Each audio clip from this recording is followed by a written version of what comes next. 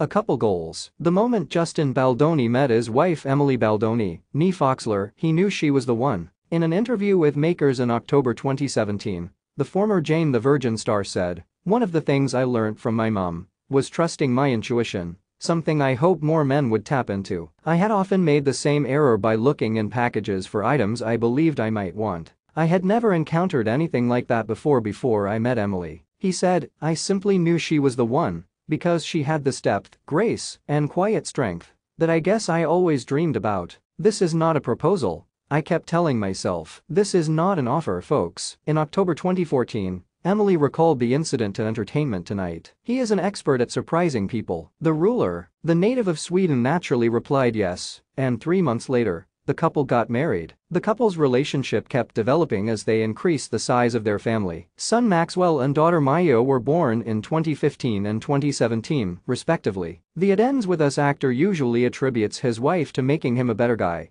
as the couple manages to combine parenting their children while maintaining their relationship. My beloved wife, my assistant, my house and everything, she is unstoppable, Justin praised on Instagram in February 2022. Her generosity, love and compassion for people motivate me every day to do better. Without her encouraging me to be a better man on the inside, I wouldn't be able to do the work I do with males in public. Consider the moms and women in your life right now, honor their fortitude and resiliency. To view the full history of Justin and Emily's relationship, scroll down.